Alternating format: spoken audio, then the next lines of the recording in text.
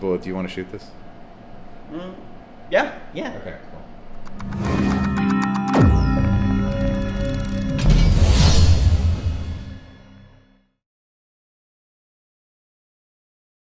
We are Unciphered, an advanced cryptocurrency recovery company founded to solve a problem encountered by many early crypto enthusiasts. A problem so pervasive that it has its own meme.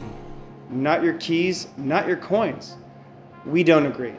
Unciphered realizes that no subject as complex as property rights or legal ownership can or should be broken down to, into something as trivial as who can solve a specific math problem.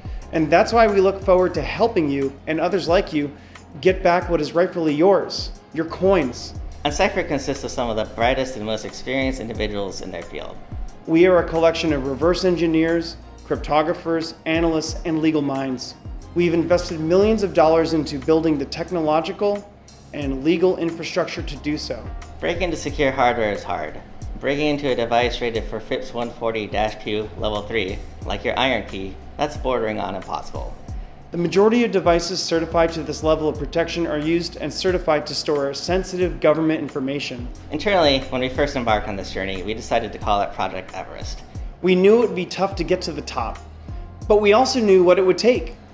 We started by reverse engineering all the interchip communication protocols, and then the firmware of the controller itself, and finally the cryptographic implementation details, and ultimately we pieced together all the aspects of how your device works.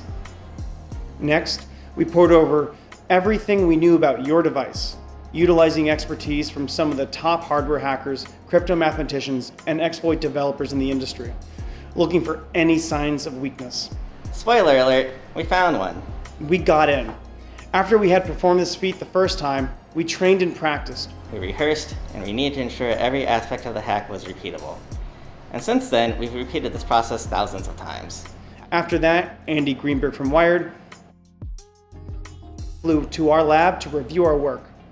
And after providing an overview of the entire process, they agreed to initialize and lock a handful of iron keys. Then, they handed them over to our team and went to lunch.